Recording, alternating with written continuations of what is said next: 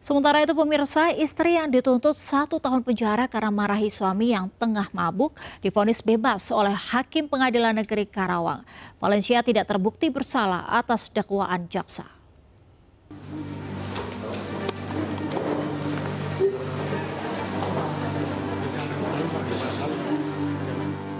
Valencia, terdakwa kasus kekerasan dalam rumah tangga KDRT Sikis langsung bersimpu dan menangis.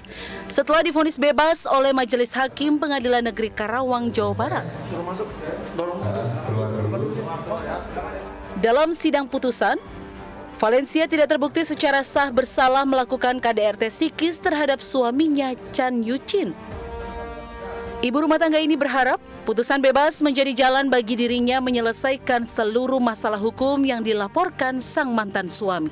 Kejaksaan Republik Indonesia yang telah memberikan keadilan kepada saya dan keluarga.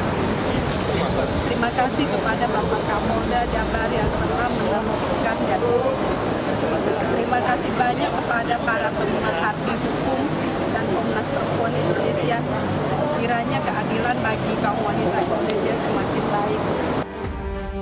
Sebelumnya, kasus istri yang dituntut satu tahun penjara karena memarahi mantan suami yang pulang dalam keadaan mabuk menyita perhatian publik dan berbuntut panjang.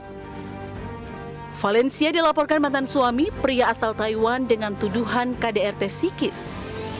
Namun Kejagung mengambil alih dan melakukan eksaminasi khusus setelah menemukan pelanggaran dalam proses penanganan kasus terdakwa Valencia.